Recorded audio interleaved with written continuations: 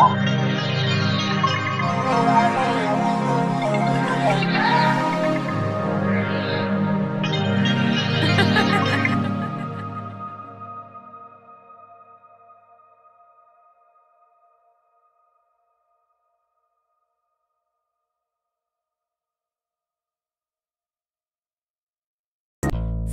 is blue, your heart is true. There's nothing left for you up and cry, you're gonna die. This ocean bleeds for you and I. There's nothing left for you and I. There's nothing left for you to cry. The sky is burning down. The world is over. The clouds are coming down.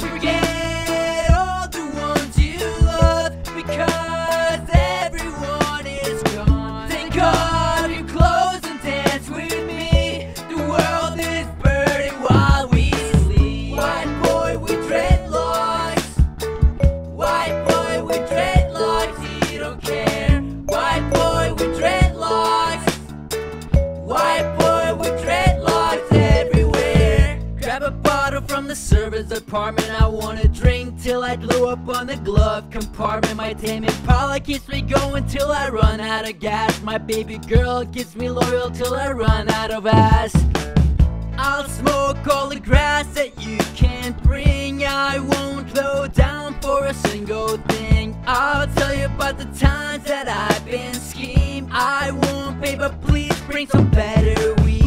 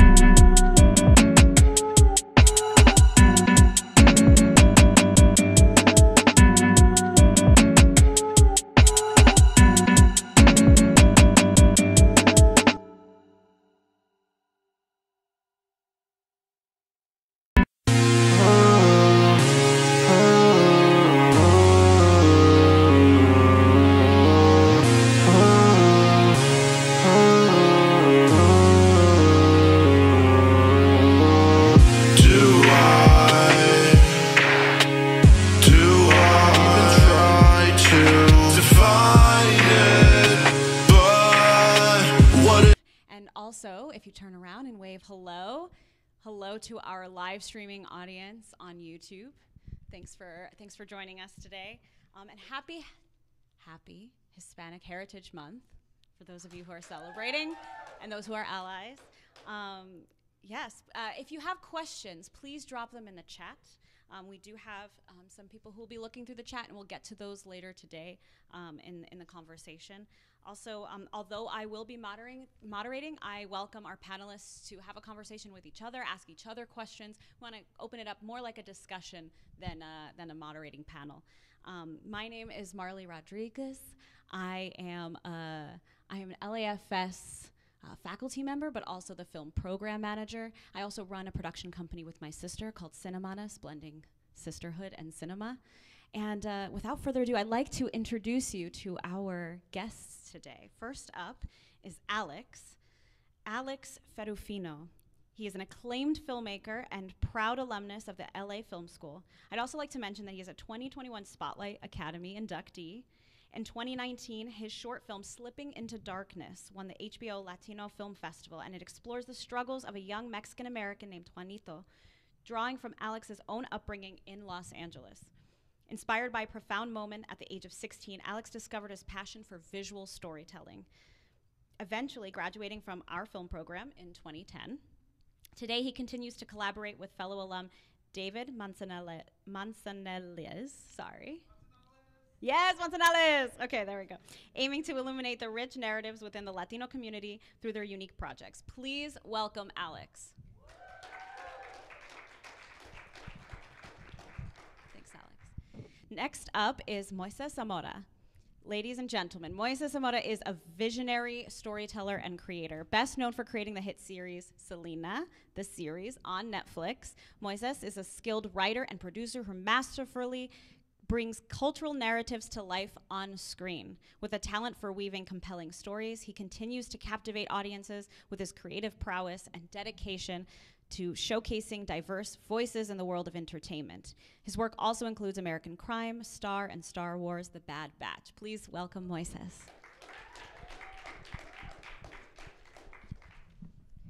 Thank you both for joining us today. No, thank you for having us. So we always like to start off with a positive vibe check. So it's a, a quick little, before we jump in, let's get to some things that we're grateful for, some gratitudes, um, or something that is going on in your life that you feel really positive about. So, for example, I am very grateful to be moderating this panel. I'm also grateful that the writer's strike is over. what about you guys? I'm grateful to share the stage with this man. I'm grateful to share this stage with this visionary. Aww, that's sweet. That's sweet. Anything else you want to No, I share mean, that's, um, that's exciting in your lives?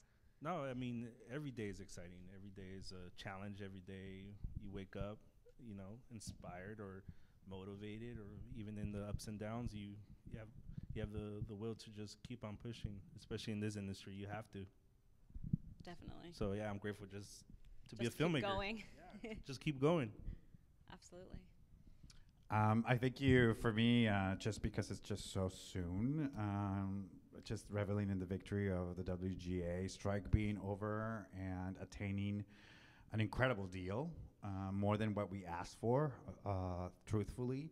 And so I'm very grateful to be part of a union, to be in a in a in a place where collective action actually takes on the biggest corporations of entertainment, and we actually can come to an agreement uh, for the sake of protecting our careers as storytellers and for future generations. And I'm so grateful for that. It's such a relief. Now I'm a little PTSD from the five months, but um, being surrounded by people like Alex and other filmmakers and storytellers, it reminds me why I do, you know, what I do, and why storytelling, writing, creating is will always be my calling. And so just a reminder of that. And that's why I always love these kind of panels and talking to students at Los Angeles Film School. Very grateful to be invited here. Thank you, LA Film School. Uh, because it reminds me of my own journey of being a storyteller and continuing that work. Great, great. And if you could pick any actor to play you in your life, who would it be? I know You know, that's a very tricky question because if I say a name, and then I get a phone call and be like, "Why didn't you say me?" You know. I think I'm gonna go for an unknown, for anonymous, a raw talent that can, you know, be Moises Zamora if it ever is made. But uh, just so I wouldn't offend any of my. I, I- I'll say a name. I probably will offend people or not, but I really like um, Danny Ramirez. Um, actually, Steve. Steve knows my life really well, so Steve is the lead for Slipping Into Darkness. I will lean on him too. But yeah, I, that's a good question. two of the most handsome Latino actors in entertainment. But okay, Alex, I see you. Danny Ramirez is probably one of the most talented people I've ever come across. Um, he is currently attached uh, to be the lead of one of my horrors. So, uh, very excited about working with him in the future. Hopefully, you know, I don't want to jinx it, but uh, want that to make to, to happen. And if you guys don't know who Danny Ramirez is, he is the new f- um, Falcon and the Winter Soldier. He's the Latino Winter uh, Falcon. So yeah, that's him. He's also in um, Top Gun. He was the Latino pilot. We got all the oh, oh yeah, we know him. They're small roles in that sense. I mean, well, not the Falcon, but that in the Top Gun. But you know, he's been working for a long time, and um, he actually auditioned for Selena uh, for the role of Chris, and he was so good. He gave me so many layers, um, and I'm like, I need to work with that individual in the future. That's the exciting thing too about being a filmmaker. Sometimes someone's not a right fit for the role, but you bring them in, you you have them uh, in mind for a potential future role, or you write them into something just because they like blow you away. Um, so continue on. Can you finish these sentences? I represent blank. I represent all the kids from the neighborhood. I represent a legacy of Latino struggle and immigrant voices and queer voices and just, you know, that little kid that wants to dream of something impossible. I'm here to say, hey, it's possible. Love that. Love that. And then lastly, film changes the world by blank.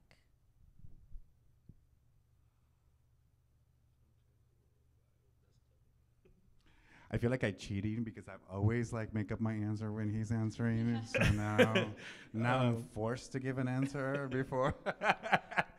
Um, what was the question again? Film changes the world by blank. Film changes the world by giving a voice to the voiceless. I've always thought that film um, changes the world for good or bad, right? Um, because art can do that, you know. And sometimes art has been used in throughout history for the wrong reasons. If that could be, you know, let's talk about propaganda during World War II. Um, but I do think it reminds us of our humanity, you know, and, and that's how it changes uh, people to just remind them of their humanity, whether it's good or bad. And I think that's the power of art and storytelling. Great. Great answers. Good questions. I wasn't expecting this. We get at all. deep real I was quick. like, tell me your darkest secret. I'm more ready to tell to talk about that than like how cinema affects the world. okay, we'll we'll zoom out. we'll we'll zoom out. And Moises, can you just tell us from your experience, like what uh, what wa- has your journey been like from student to successful screenwriter and producer in Hollywood, and what were some of those pivotal moments? you know, um, on one hand, my story is like unlike other, but also very universal because it speaks about struggle and just like overcoming the impossible. And a lot of people of color or the, anybody that comes from a marginalized community can probably relate. But you know, I came to the states when I was 11 years old as an immigrant kid. Didn't speak English. Um, I still kind of don't.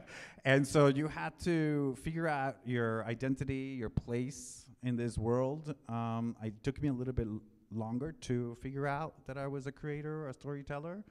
Um, basically, when I got to college, um, I decided that I kind of I made a declaration. And it was like towards the end of my senior year. It's like I want to be a writer. Uh, I was slightly intoxicated. Um, everyone thought I was crazy. It was like, great, let's go to the concert. Um, but it really um, you kind of have to make a declaration whether it's vocal like that or internal because it's not an easy career. It's not, it, you know, if you want to make money, go to real estate. If you want, you know, fame, like have a sex video. I don't know, you know, but it's it's not an easy career. Um, and so to be a writer, to tell stories in whatever format, um, it's it's a journey that doesn't have a uh, like a pattern. It's not like you go to grad. I mean, you I guess you could go to grad school, but it's not like you know after you pass the bar you can get a job. You know, it's like there's no such thing. So you have to find your own journey. I actually started writing novels in Spanish first uh, because I thought uh, immigrant kid. There's no Mexican American novelist that I can look up to. You know, there was just not that representation. So I thought for me it was easier to write in Spanish than actually, you know, take that leap. And then slowly, um, I started discovering entertainment and TV writing and screenwriting, mostly by being here in Los Angeles and being surrounded by other storytellers. And actually, I was a student um, from USC, woo, uh, I mean, you know, uh, and that said, like, hey, help me out produce this short film. And they're like, sure, okay, yeah, I can do that. Um, and I really fell in love with the process of producing a short film, and then enjoyed it so much that other people got the word out, like got the word out with the USC students, and they all came to me. They're like, "Hey, can you produce mine and mine?" And I'm like, "No, no, no, no, no. I want to. I, I think I want to produce my own work. I think I want to go into this space." And went back to school. I went back to school because I love being a student.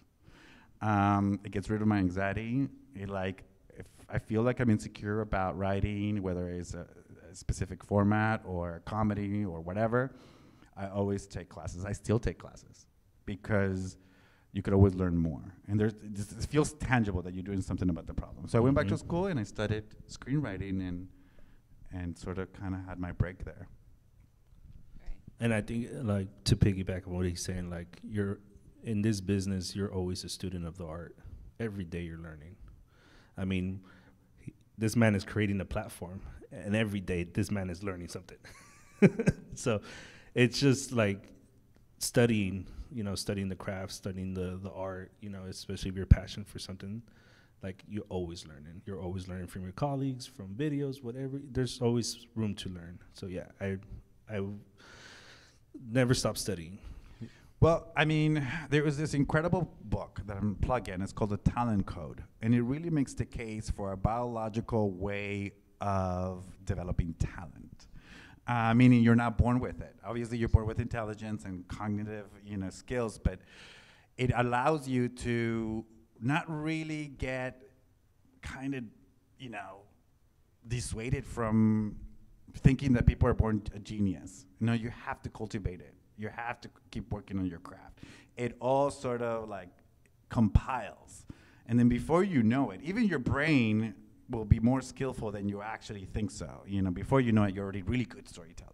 It all adds up. It's that muscle. You know, you got to keep working that muscle. And um, you can't do it but just like, you know, not allowing yourself to learn. So you're you're starting out well, students. Yes. Yeah, as, as technology too continues to disrupt the industry, my gosh, we always have to relearn new processes, re, uh, renegotiate contracts, and continue to. But a good story is a good story. Uh, you don't need technology to come up with a good story. You just need to be a reader, a consumer of stories, and put that to work. Yeah. And so for you, Alex, uh, what inspired you to become a filmmaker? Oh man. I, Um. So my journey's different. Uh, I grew up in the neighborhood. I grew up in South Central and rough parts of the valley. Um, but I was always an undercover nerd. You know, as much as I was game banging and doing all this stuff, I started in graffiti. So there was art. You know, comic books was the biggest thing. You know, comic books, skateboarding, all that stuff was part of my my arsenal of art. So um, drawing. I started drawing um, at a young age, and then getting closer to like graduating from high school. I I skipped two years of high school, and I was just doing art, or I was just being the knucklehead. But I got a job um, doing a storyboard for a commercial for a director because he saw me drawing. Like on the sidewalk, or I don't know, I remember where I was, but I was in the street just drawing, and he's like, "Hey, do you, do you want to do this for a living? Do you want to make some bucks?" I'm like, "Yeah, sure." So, but I grew up. I also grew up in the back lot of Universal a lot. So uh, seeing that made me just become even much a nerd and just be engulfed in the. I mean, I saw the, what is it? The T Rex, um, uh, Soundstage 12. I saw the the the where they had the T Rex locked up. You know that that set in in perspective. I'm like, oh shit, this is cool. You know, like this is dope. Like I'm in this world.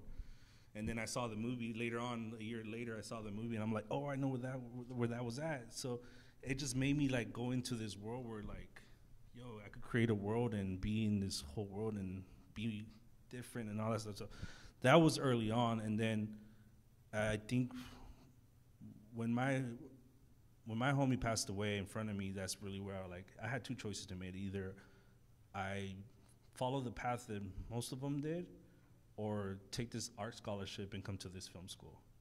And that's what I did. So I did that. I started in the film industry first, then came to this school. So I was always the nosy kid. Every time I saw all these white trucks lined up in front of the high school that I used to go to in the summer, I used to just ask all the guys, all the Teamsters at the time, I didn't know what they were, but they're the ones that drive all the vehicles. So I'm like, hey, you guys need help? Hey, you guys need help? I'm 18, I could work. Hey, hey. And as much as I started bugging them and they kind of saw my familiar face, they're like, yeah, come on. So I started in the art department as a PA.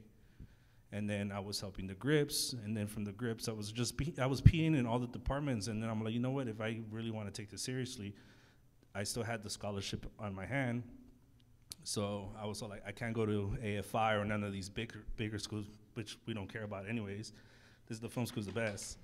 um, but um, but um, so I was like, you know, if I want to take this seriously and learn more of the vocabulary and the language, because I was on set, but I didn't know what they were talking about. So I was like, all right, let me take the most accelerated program they had at the time. It was 12 months in and out, and I was still working in the industry. And yeah, that w- the rest is history. From there, here I am, still working on it. That's fantastic. I mean, just it, it's so lovely to hear when people work hard and that you see them get to the success that you're you're seeing now. So that's that's just a testament to hard work and, and keeping keeping to it. And that and that just goes with everything. Like it, this, you know, I don't sugarcoat it. I tell you how it is. You know, I'm very straightforward. Like, you know, it's not easy. It's this business is not easy. But if you work hard and you make a name for yourself and you push hard and you're the you're, you're the student of the art, like you'll get to places. It's not it's not far fetched. Sooner or later we will. It's just not the, the the hard part is not giving up. Yeah, and, and as Moises said too, um, reputation. Like you had a good reputation where everyone kept asking you to work on their project. You know, one of the most important things. I'm sorry, like my when I talk too much, my throat goes dry. Um, so we're good. We're doing good.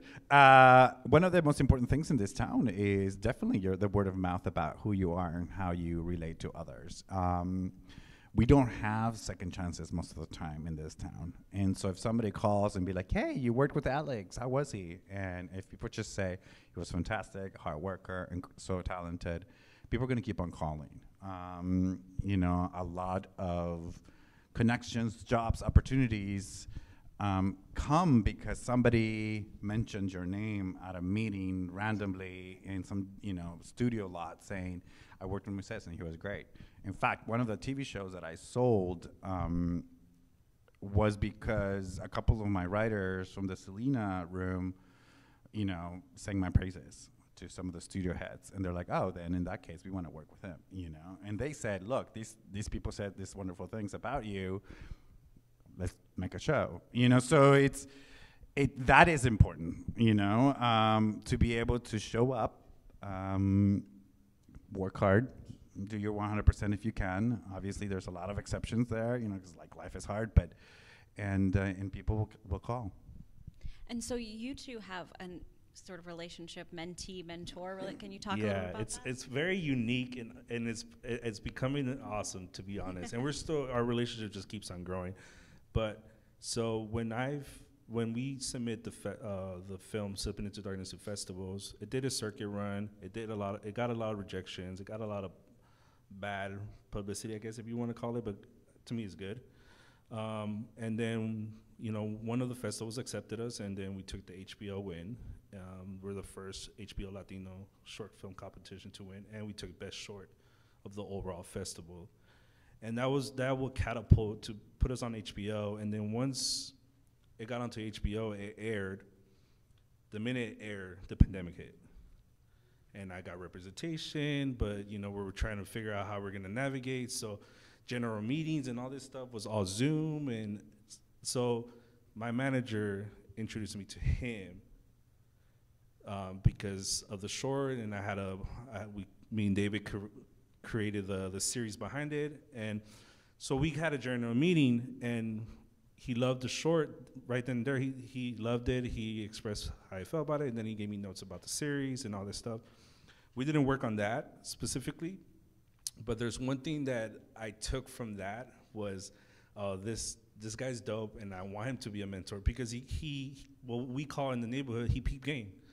You know, he dropped some gems, and one thing he dropped that out of my general meetings that I've been having, I was like, well, this guy really took his time to express certain things, and he said, you know what, I'm gonna give you some advice, bro. Um, make sure your, your your grammar's on point. Make sure your p's or q's are this, this, and this, and the other. I'm like, oh, this my, this man is schooling me, because but no, but there's a reason why because, you know, as our last names, Zamora, um, Ferrufino, well, I'm Munoz Ferrufino.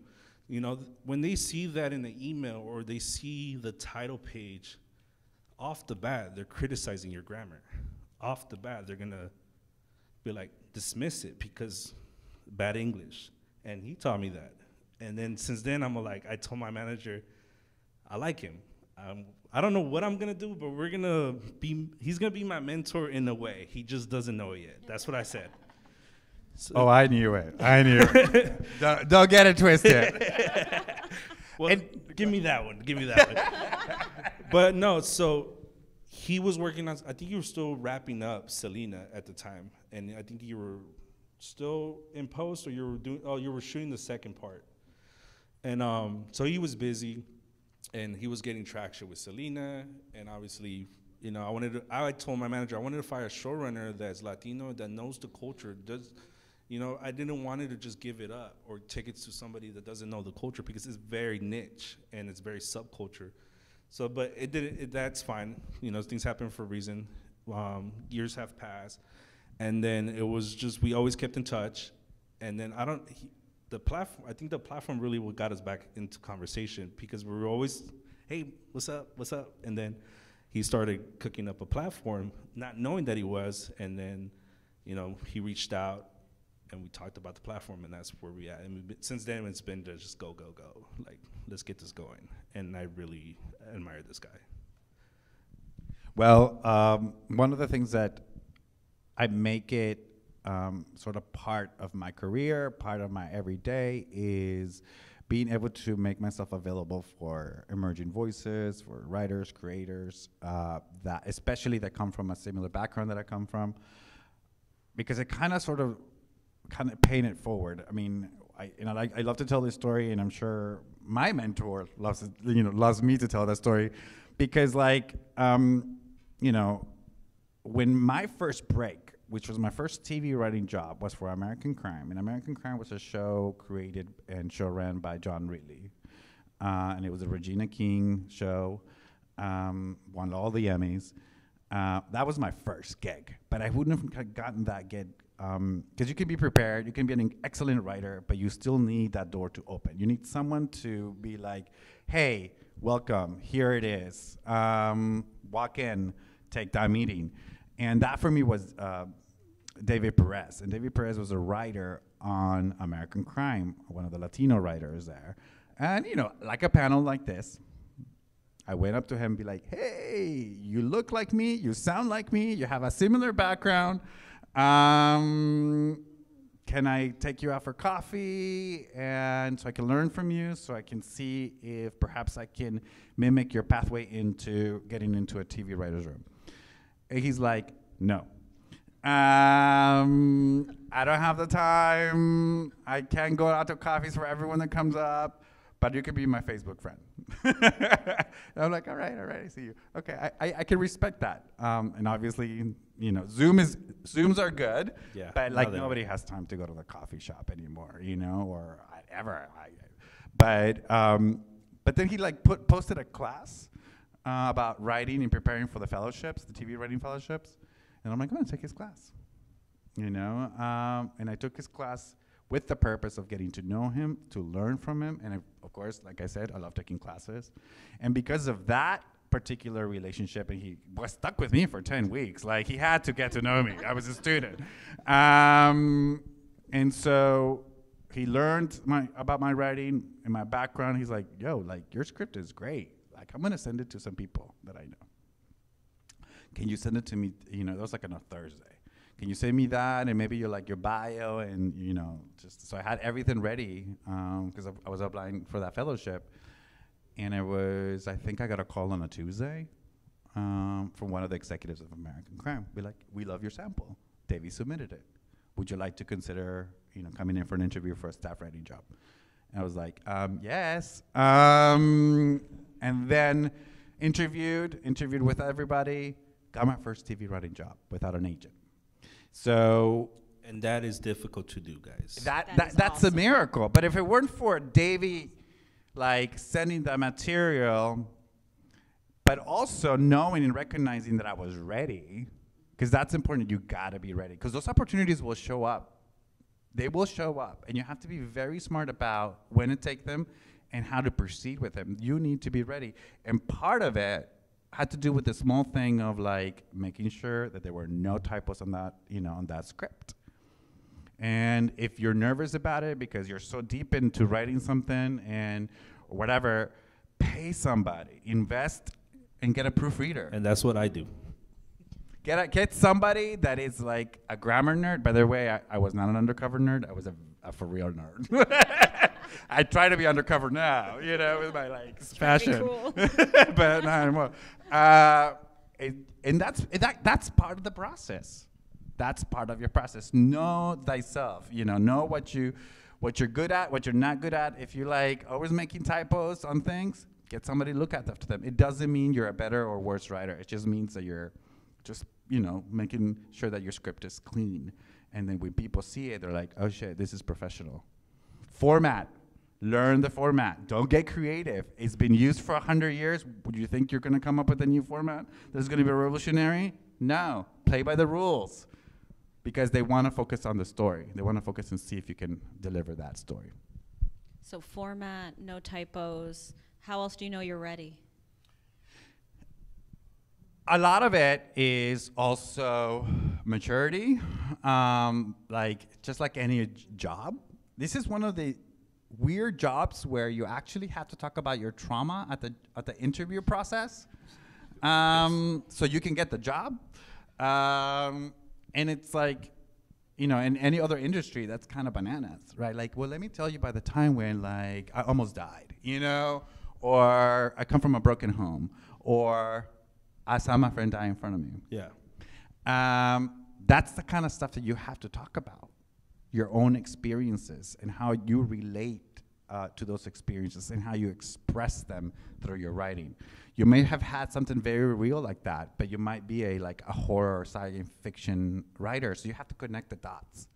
So when you're able to express about your process, your writing, your experiences, and how you know, and without falling like you know to pieces and crying because they're not your therapist, um, and being able to be like, and that's how I put that into my writing, and that's how I'm going to be a great writer for you, you know, whether it's for TV or for a studio head that is looking into buying your your feature, or when you're collaborating with a director. It's like, what are you bringing to the table?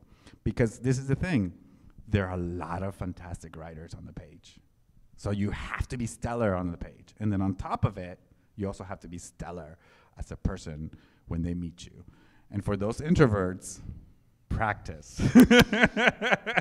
you know, cheat somehow because I, I've, I've encountered incredible writers on the page and they're just, you know, this is the thing about artists. They come in all like, you know, personalities. And as soon as like they go into the interview, they're like, they want to die. You know, I had one of those writers for Selena be like that, and I could, she bombed the interview, bombed, But like her experience and her writing sample, and I'm like, she's fantastic. And I, and she still got the job, and I'm not going to her wedding. She's getting married.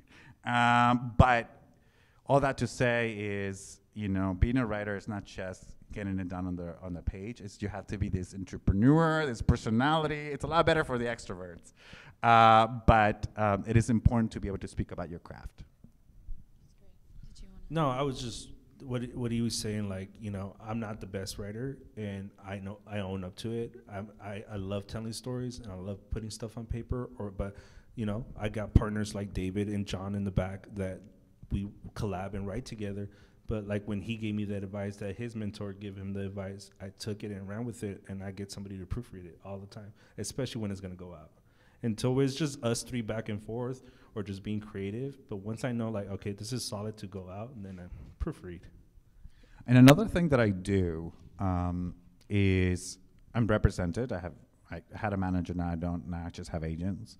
But when I share a, uh, a piece of material, like a script, with my agents or anybody that is in the professional sort of ecosystem of Hollywood, that script is I usually do my own development process. I vet it. I also pay for people to give me notes, professional notes that I trust, like coverage. Coverage, yes. Yeah, screenplay mechanic. They all do it. Studios do it. Everyone does it. It's like a two-page, basically, evaluation of your script. Um, so you want to use those services to give you an idea of like where you at. You know, like what do you need to switch? What are the things that you need to fix? So I kind of go through my own development process before I even share a draft with anyone in my profession. My managers, my my my agents, they don't get like that first or second draft. They get like the sixth draft.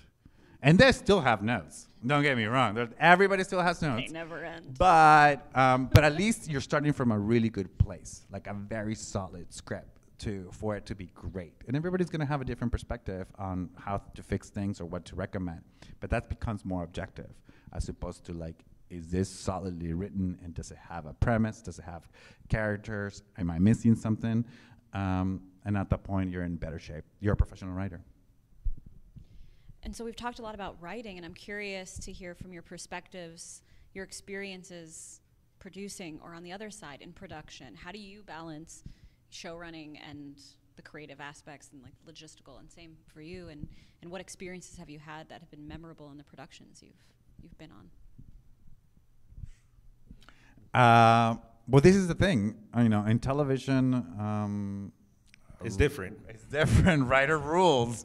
Um, and now, for sure, after this agreement, uh, this strike, uh, never, it's co- showrunner now for the first time is codified into the language of our contract, meaning the writer is the head writer, showrunner, hiring, and also has production uh, responsibilities. And they hire the various directors to basically carry out their vision. And features is different. It's different. So the writers, I say, I say it in these terms: the writers have the power in TV. They're the ones that know the story from beginning to end.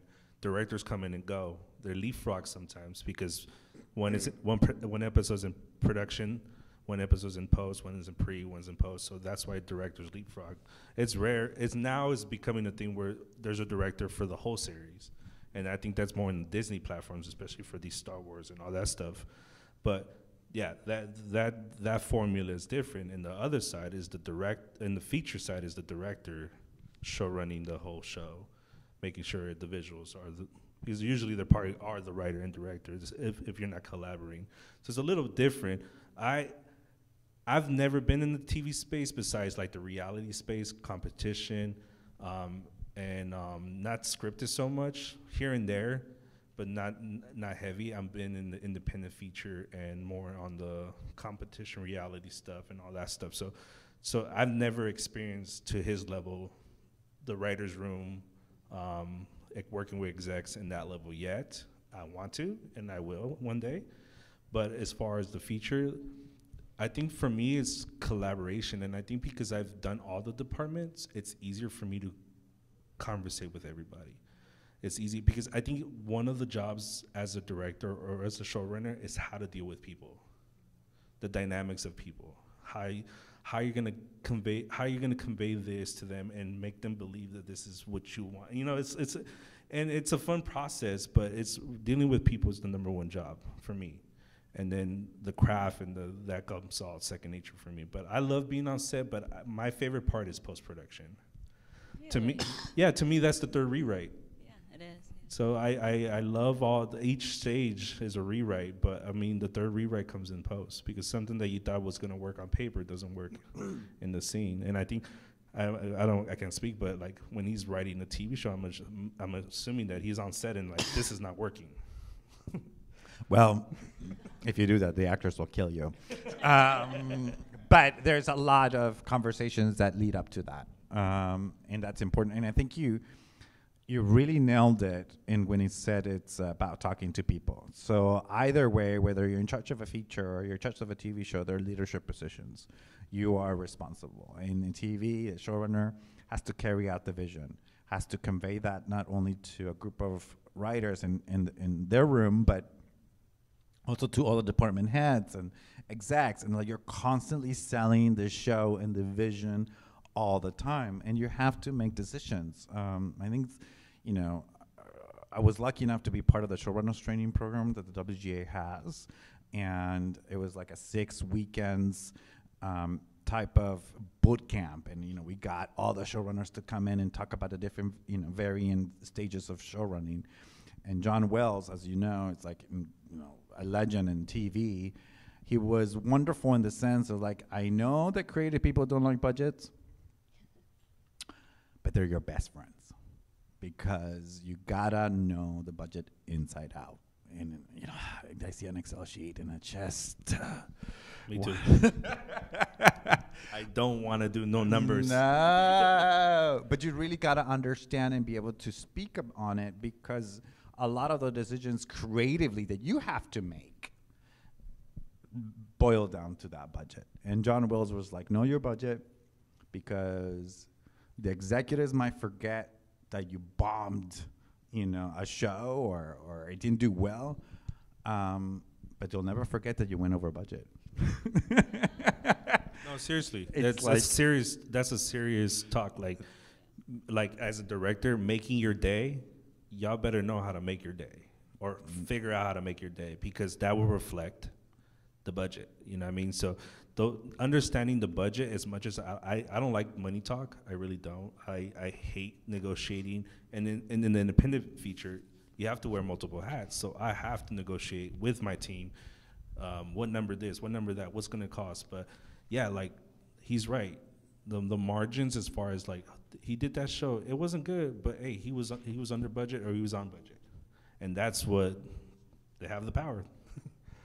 Yeah, and, and, and it's important because a lot of times, um, you know, when we're writing our scripts and our stories, we're not thinking budget. You know, we're not thinking product. And you shouldn't at this point. You should really just have the freedom to write whatever you want. But once you're on set and you have, you know, maybe that helicopter scene is out, you know, and you have to figure out a way that it's creatively um, compatible with your story that sort of delivers that what you wanted to deliver. Maybe you won't get the helicopter, but you get something else just as powerful that really represents what you really wanted to accomplish, and that's just like a good problem to have. Um, and I can't wait for you guys all to go through it. Yeah. Wow, that's a torture. I immediately think about my frugal immigrant family coming over and hitting me on the head and being like, save, save, save. So every time I'm in production, too, it's like this little voice in my head that's like my grandparents being like, we came to America and save. Oh my gosh. Um, so you, you mentioned a little bit about VideoMart, but could you tell us more about that project and how that came about and, and what you're doing with it now?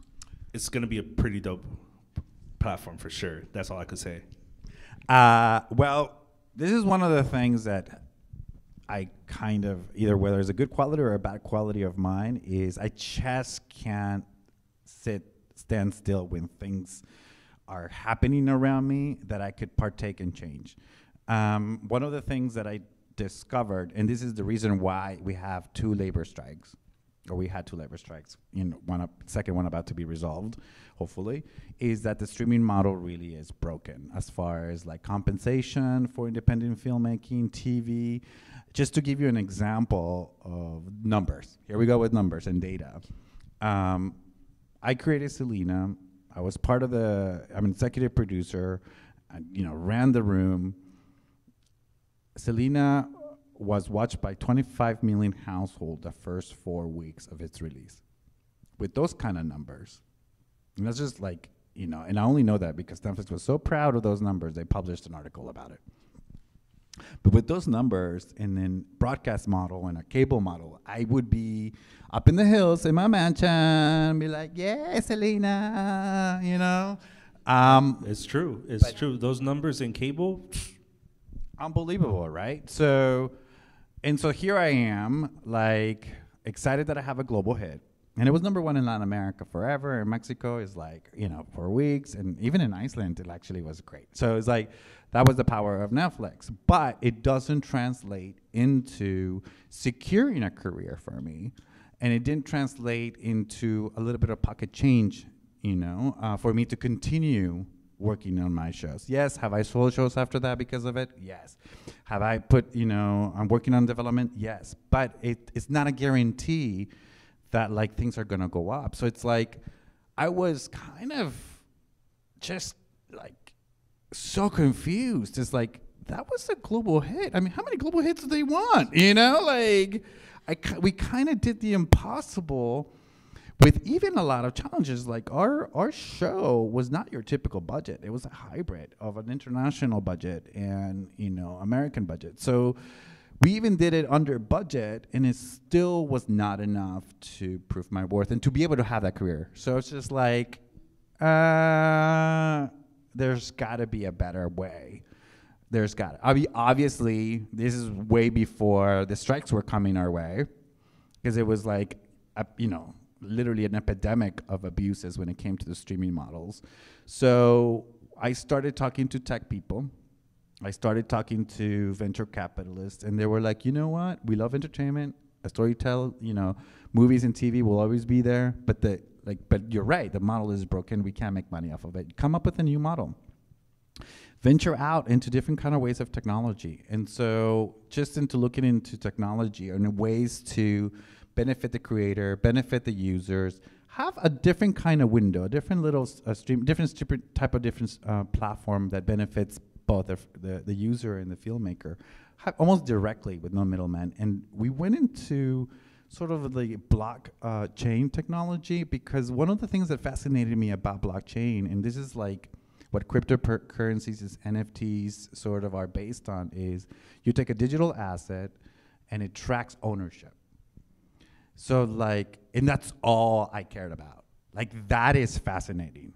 Imagine if you could take a digital asset like a movie, buy it, enjoy it, add things to it, and if I want to sell it to another user in a platform, I think that's game changing. That that little that action creates a partnership with the user, with the fan, with people, with the filmmaker that has never existed before. So we started venturing into that and realizing, well, what do we need? We need the platform, we need the structure to create that, like that kind of marketplace where you buy a digital movie, love it and enjoy it, and then sell it if you want to. And so I teamed up with a, uh, a software uh, engineer who had created essentially this platform, but he was doing it for NFTs. And we're like, no, I don't want NFTs. I want digital movies that I can sell and buy using just the technology underneath. I don't even want. We don't even want to be tied to cryptocurrencies. We just want to be able to buy and sell movies. He's like, we can do that. So then the other thing was another uh, digital component was the digital wallet. So it's like how to track that without, you know, knowing technology. So we teamed up with this other software engineer, and he had a digital wallet where you can just sign up with an email. So now, now we have a platform. So I was like, well, now I gotta get myself some films. So the first thing I thought, let's bank on diversity. Let's bank on young, you know, like diverse, like fast adopters that love technology that won't blink twice because we live in a creator economy. Like we're in the TikTok world. People are monetizing their content. Um, it's not the same. Like nobody wants to subscribe to 10 platforms anymore. They want to be paid to enjoy entertainment.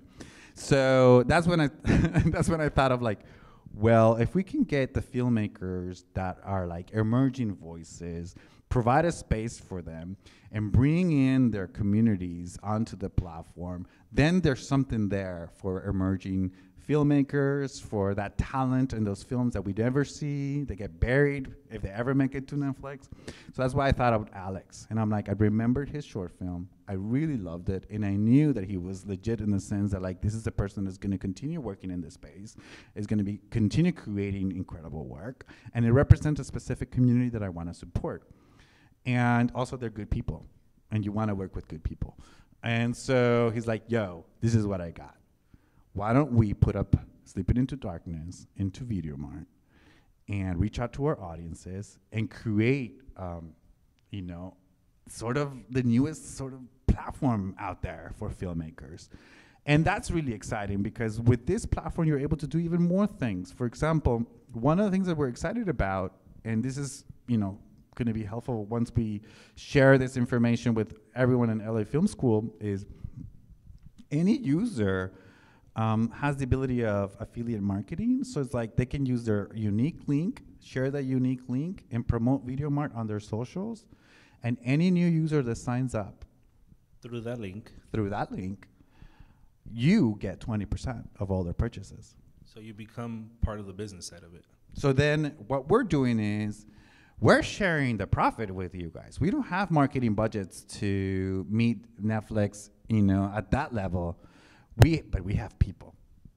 We have people that are hungry, that they want to see their stories, that have been neglected by the entertainment community, and that really just want a place where they can find their film and own it.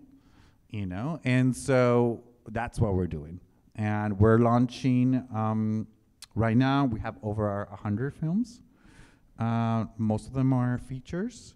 S- a lot of them also are shorts, including Slipping Into Darkness. And we're negotiating another 300.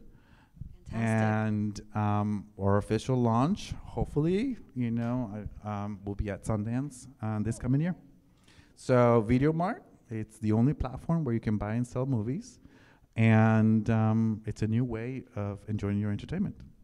That sounds fantastic and empowering emerging filmmakers, which definitely get lost and abused in the shuffle there. Yeah, and especially in the short format space, because I mean, to this day, short formats, you know, they're they're big, expensive calling cards, or you know, they're passion projects, and you you want to do the feature version of it, but you can't, so you do these short films.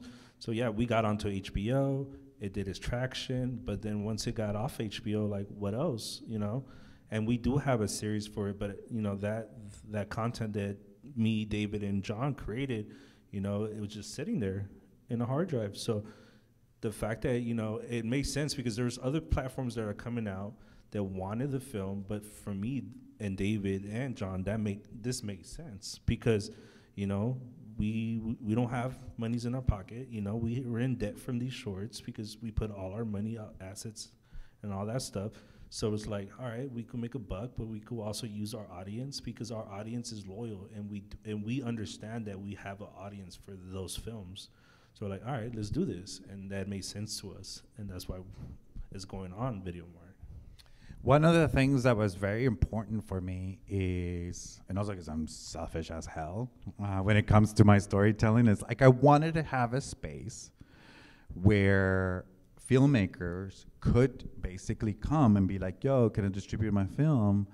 I mean, obviously, we're curating the content to some degree, um, but because we're not a TikTok, you know, but at the end of the day, I also want to at least have a space where if I have a feature or a short, Yeah, that's that's one of the goals. it could be a, it could have an audience, you know, like and this is a person that has already had millions of millions of people watch their show. Right? Like I already have I already had millions of people watch their show. And so where am I? Like still looking for that connection. and I'd rather build a whole platform and get into tech instead of writing stories. Well, I'm still writing stories because I'm insane. But in order for me to have a space, you know, maybe I don't. It's kind of hard for me to and abstractly to sort of measure like the millions and millions of people that watch my show because I don't have a connection with those people. I don't know who they are, and Netflix will never tell me. At some point, I think, like in a panel like this Friday Film Festival, um, we were talking with some of the actors for Selena when it was still kind of going, and like like 850 little girls from the ages of 12 and 13 showed up from all over Latin America to that Zoom.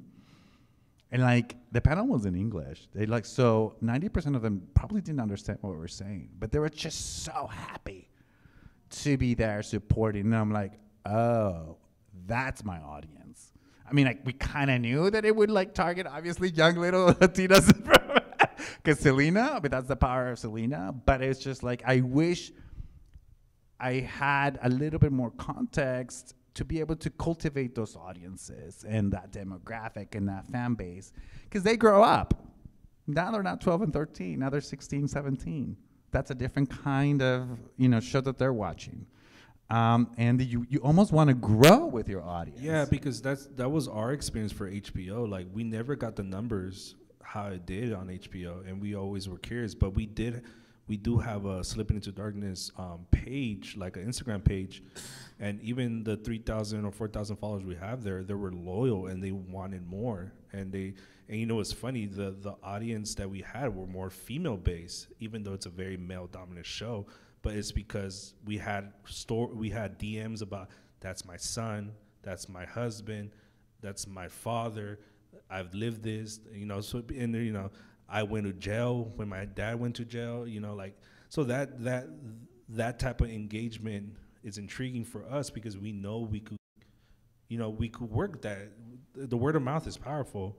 So I, I really love the platform for that. One of those reasons why we're like, oh yeah, that makes sense. And one of the things that to piggyback on that, that was very important to create a platform that has that access to your fan base. Like you'll because this blockchain is very transparent, so you know exactly who's buying your stuff. Like I mean, you'll see the usernames, but you'll see who is interacting with you. You'll be able to have you know live streaming to the people that hold um, your title. You'll be able to send them stuff. You'll be able to have that connection, and you, of course you can do that over social media and Instagram. But this is particularly um, catered to filmmakers and their audience.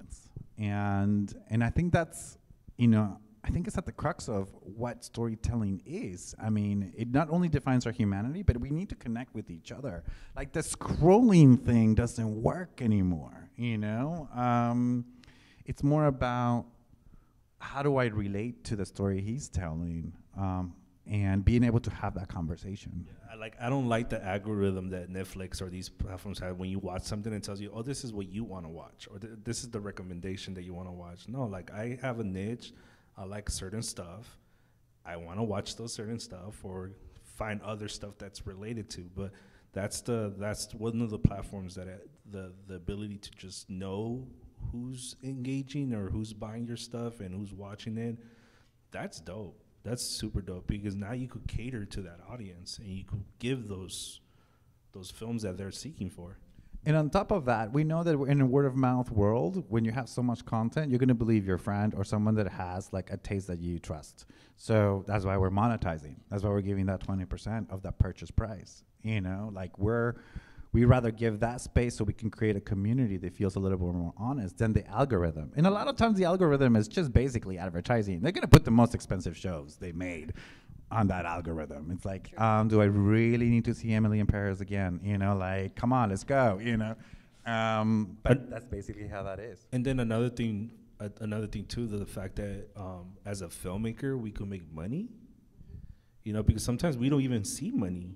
You know, depending on the contract, depending on the deal, depending if it did good, you know, depending if it did bad, those all factor. But like if there's money to be made and we could make another one, because the goal is to get that money and make another one.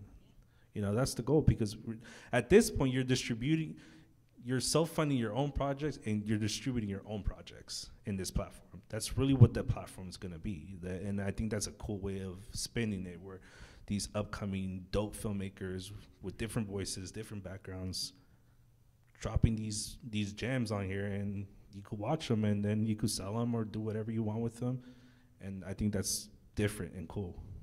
Well, I think a lot. I mean, we've heard. If you're not familiar with Hollywood creative accounting, is like you know they're supposed to be profit sharing and back end and all these things that they're promised in a deal when you make a deal to make a movie or a TV show, but because they spent it all on marketing and you know, I don't think like any film has made any money you know, in the past like 25, 30, 40 years because they always go in the red so they don't pay that back end in profit sharing.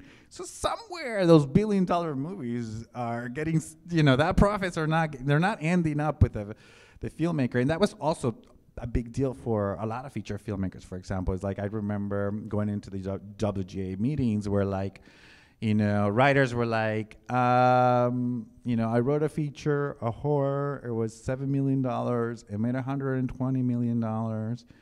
Um, they told me that like it didn't make any profits, but they want me to make a second one.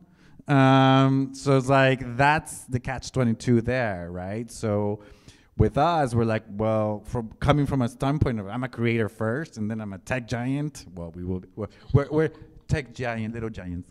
Uh, but like, you know, I didn't want that. you know, so if there's going to be marketing, we're integrating it into the price point, and that's it. That's why that 20% is there because then everything else is free up for the filmmaker and the distribution platform, and it's clear as day. And you know exactly what you're gonna get, and you know exactly how many people bought it, and that's it. End of story. I think it's great because you're not gatekeeping the information, right? So you're like Yeah. democratizing the data so that the filmmakers can get directly in touch with their audiences, and they're empowering them financially too. So that's it's a lot. That's that's fantastic. I mean, we are taking a model, um, you know, day and night compared to the streaming platforms. Day and night, like let's let's share the data. I don't care. You know, why not? In fact, like, why don't we use that to our advantage in the sense of like everybody knows who is on the platform. Fantastic. Let's celebrate that.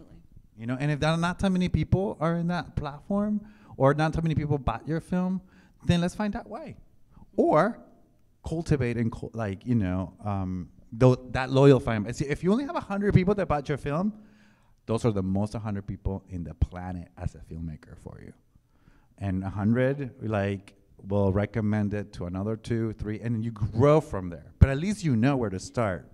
You know, knowing is half the battle, and then the rest it's just work. And we're already doing the work.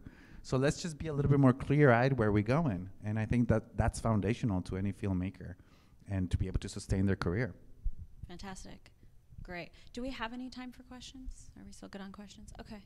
Okay. Okay, great. Do we have any that came in the chat? We do, yes. So we have one question from a student.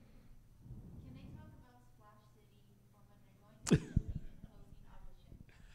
Oh no. It's out. it's out. So we we finally got greenlit for our first feature. Um, Congratulations. And that's and that's what they're talking about. Um, we are not we're not ready to set out uh, send out the breakdown, and we'll just follow the Four Ways Instagram or one of our Instagrams, and you will see when we announce um, open casting calls for the Bay Area. Awesome. Great. Great. Any audience questions here? Before I go back. Yeah. For both of you guys, so like you said, like you pull inspiration from like your life based off street stuff, right? For you, when you were doing Selena, like how'd you even like get into that project? Like what what was the, the pro? Like, what's your process, both of you guys, in writing and creating that space? Well, Selena is like our Beyonce. She's the queen. and I love Selena, but um, as as far as me, I mean, I had a mentor. I have I have a lot of mentors. I love mentors, guys, but there was one mentor that told me and David, write what you know.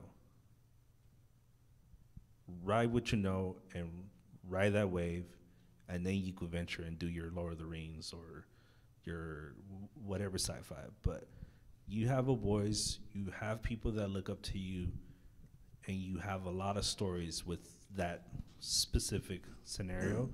Just write what you know, and that's really what the four ways guys and I we work on is just giving a giving a different perspective. You know, we we tend to complain that why are they telling our stories, but because we're not telling our damn selves. So that's that's really what we're we're that's the the catapult to four ways and when we started back in 2016 is just write what we know. And also that can be translated into a lot of things, right? If you if you know an absent father and your struggles with that relationship, pff, that's Star Wars, you know. True. Um, and so it's just a matter how you want to paint the picture, um, but it is the the the outline of, of what he's talking about. Um, for Selena was a little interesting because Selena w- came to me um, through my agents by with my producers because uh, through the producers that they uh, part of the agency um, they um, I was I was actually pitching a different show around town. I had acquired the rights to this 13 year old Mexican girl who is considered a genius. Like, she speaks five languages. Um, she graduated from college. She has, like, she's the youngest psychologist in the world. And so I was going to do, like, a Mexican Doogie Howser. And that led to people were like, that's cool. We don't want that, but we have something else, you know? And then they called me, like, okay, would you be up for, and this was like a week before, meeting the producers that had the rights to, to tell the story of Selena. And I'm like, okay, well, Selena Gomez, not my generation, but I can make it work. I can make it work. They're like, no, Selena Quintanilla, like Say 90s. I, I was like, what? What? Um, and like I grew up with Selena, like quinceañera's wedding. She was like, like my aunts went to her shows. You know, I, I was too little to go, of course, but like they went, like they saw her live. So um, I was like, Anything for Selena. I mean, it's like at first I was like, wait, like why are they bringing this to me? I'm like, I've only had two shows under my belt, and the truth was they were looking for a Latino Latino writer, and they still hadn't found that story, that voice, that tone, that approach, and um, and they were thinking of only six episodes and and I'm like, okay, well, I knew a lot about Selena already growing up. You know, I, I felt like, in fact, like Selena was when she died. Um, I realized a little bit of my, my, identity. Um, in a way, she allowed me to be Mexican and American. Um, because at first my worlds were so compartmentalized. You know, my Mexican upbringing, Spanish, like all these Selena things, you know, cumbia, whatever and it was so separate from my American world, English, you know, studying education, like all these other things that were kind of never kind of merged. But then Selena passed away, and it was, you know, and the world knew about her. And it really was in school when Dreaming of You was playing.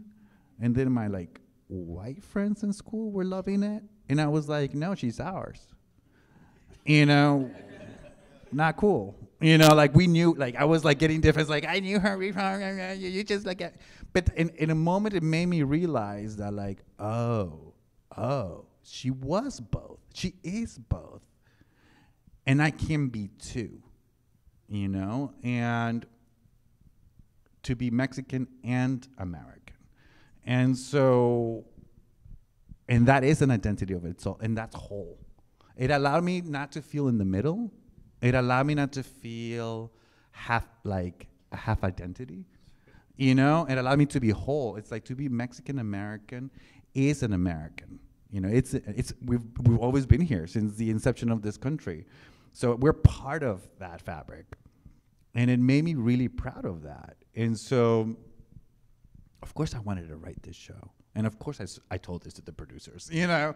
And and additionally I wanted the Mexican and American identity to be the American dream or our version of the American dream.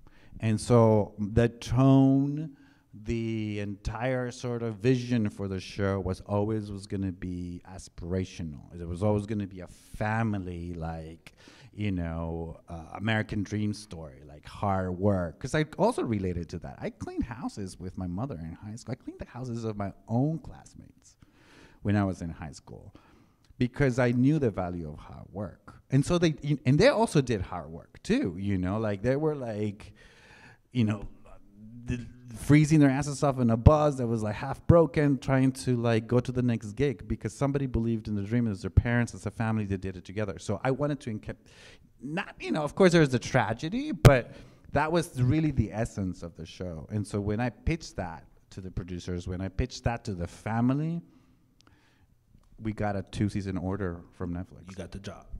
job. Yeah. Plus more. Yeah, Plus plus the next season. No, no, they no they, which is this never happens, Brother Bay. They greenlit they did greenlit two seasons. It was straight to series, but two seasons. Um, Great. and we're like, great, let's go. Fantastic. Any other questions? Online, we're good. Anyone in here? Oh, I have a sneaky question about uh, Videomart. Um, so I work in marketing and tech, and what I love about the, that product that you're describing is like it's kind of like a different model, right? But you're saying streaming in the sense of like streaming and really scaling on selling, scaling subscription, like your, your the audience members buying into that. Versus your model, it's what I understand is like individual, basically people are buying each um, title or whatever it is, right?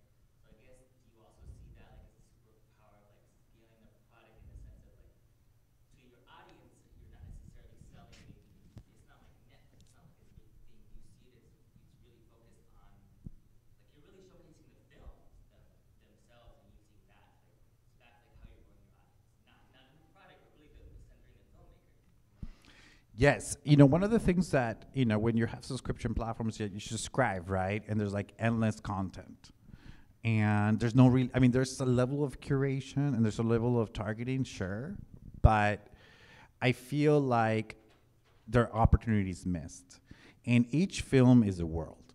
So it's like think of it more like when you buy a film with us, you're buying a ticket to that filmmaker's like world or that you know vision. We want to be able to sort of provide not only that void that, that dvds used to have for people. Blockbuster. yeah like you know videomart has a, like a 90s feel to it. You know if you go to videomart.club you'll see like the colors are a little 90s and you know we even took some like you know colors from literal VH- vhs tapes you know that sort of because we want to be able to provide that weird experience of physical experience of going through the roles and discovering like stories um, and filmmakers. That's how I discovered like my favorite filmmakers, just randomly at a video store in college. It was called Acme Video. You know, random like Agnieszka Holland. If you know that filmmaker, that's how I discovered Agnieszka Holland, one of my favorite filmmakers. So, to me, I wanted to provide that. So when you're buying a ticket, you're not only buying a ticket to watch the video, but you're buying the ticket to like Alexis Ferrufino's process and behind the scenes and other things that he may provide for it. And that and, and that's also one of the other things that uh, that is a good question because that's cool because you could set a price point depending on packages. Like you could just buy the movie itself and watch the movie for three ninety nine, right? But then you could sell your your other portion of it at seven ninety nine or eight ninety nine and have more of that experience where you get um, not just even like behind the scenes, but you even get like a meet and greet with the, the actors. Like it gets more in depth. It'll get more in depth as far as like you're really in the experience of the filmmaker, of the artist, of the story. You know, you could get digital copies of signed um, headshots, whatever it is that you as a filmmaker want to present to this platform to your audience. That option's available.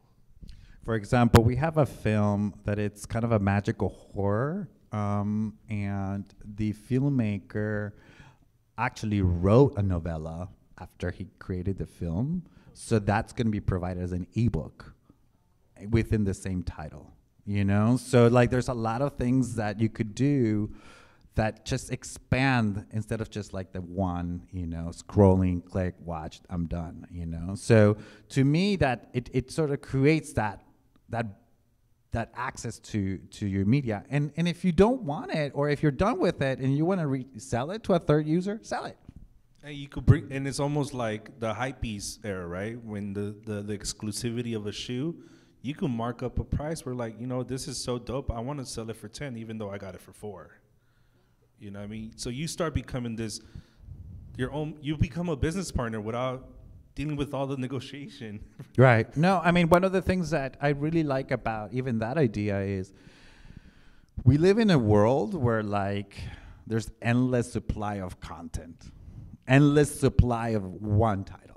And I think that squanders demand. I mean, that's basic economics, right? Like, when you have endless supply of one thing, demand is going to be like, "Mm," you know, that's why like so marketing goes into things. But if you say like if you only have 10,000 copies of Slipping into Darkness and they come with all these things, that's just it. That's all you need. You know, and at you know 6.99, 10,000 copies, that's 69,000 for a short film. It's unheard of. And and that's all you in that audience you can cultivate. In that audience you can like cater to. And then once it come the feature comes out or any other work, be like, hey guys, because you guys have my title, you guys get to have 20% off on this other title just because. And just to put it in perspective and be very transparent, we shot Slipping into Darkness for, for 35000 So let's say we make 60 We just paid our, you know what I mean? And uh, as a filmmaker, upcoming filmmaker, and, you know, in this city's particular, it's hard to live in, that's, that stuff goes a long way, you know? And honestly, you know, Slipping into Darkness is going to be a fantastic case uh, to study because they, they're hard workers. They have a community. They work really hard to cultivate that community.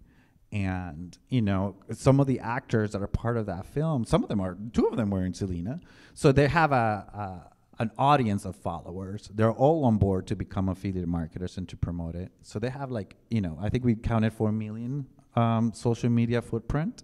So let's say four million, you know, we, ha- we got to four million people and we engage, we engage, and we get 1% of those, Four? 1% of those four million people to buy the, f- the film. That's 40,000 units. Right? Just 1%. Okay, half percent. It's 20,000 units. Okay, 0.25%. That's 10,000 units. That's still great you know and, and and everybody shares in the celebration and, and the stuff and that's what we're trying to attempt here but it only gonna work if the filmmakers put in the work you know and you guys already do it like don't you crowdfund for your short film don't you get your mom and your tias and everybody and your aunties to like pay like here's 20 bucks? Well this is a way to go back to that community and be like here it is. For 5.99 you can have a copy of it and everything else that you like were part of. And so like that already exists. Those mechanisms already exist. This is just a platform where you can actually activate them and make the best out of it great but if you love it go to Videomart and sign up I was just gonna say, sign so up Where do we it's go? very easy it's just like you know google sign up boom we gotcha and we'll never leave you alone just kidding sign up It's free know. to sign up, yes. It's free to sign up, no subscriptions. It's free, and um, it actually, if you share your unique link, right now we're working on some language and some and, and some stuff because we're still upgrading it. Uh, but it'll be all official, official, in maybe in a week.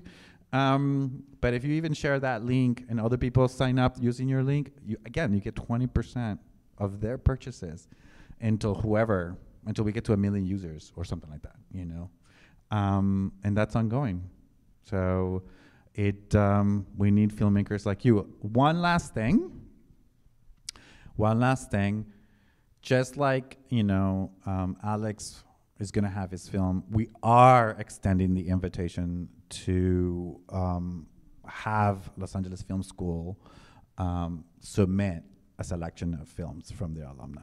Um, That's fantastic. so then you can we can have those films up there as well because I, again it's all part of having a space for people to see and to find that is not youtube you know or vimeo Well, that's you know. really kind of you guys. Thank you. Thank you for offering that for our students. Um, so keep that in mind as you're making your well we'll co- coordinate with los angeles film school with the details because we're gonna we're gonna need a couple of things from you just you know, if you're going to be filmmakers, you got to have your deliverables.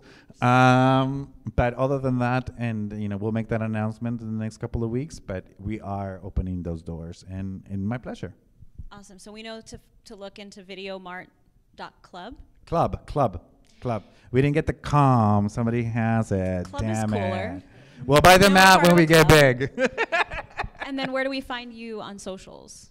Want to Um, plug Alex period Ferrufino F E R R U F I N O. Moises, the writer, across the board. And I'm Marlee.Rodrigues. Um, and please, please also, for those of you who are watching, um, subscribe to the LAFS channel. And for those here, uh, in case you can't make it, you can watch other events, other panels, other talks, and discussions. Um, thank you so much to the LAFS for hosting this, to our events team, for all of you for attending, and those of you online, and of course, to our panelists. We'll end as we started. Okay, I'm gonna give you a deep Woo! Well, thank you to our wonderful moderator. Thank you, thank you. She did such a good job. It's incredible. We'll end with this. I empower other creatives by blank. Reaching down, reaching down and picking them up. Believing in them. Thank you. Thank you, everybody.